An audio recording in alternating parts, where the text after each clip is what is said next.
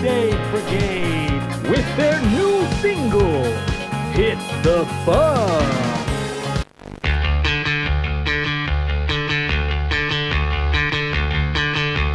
Couldn't knock it down.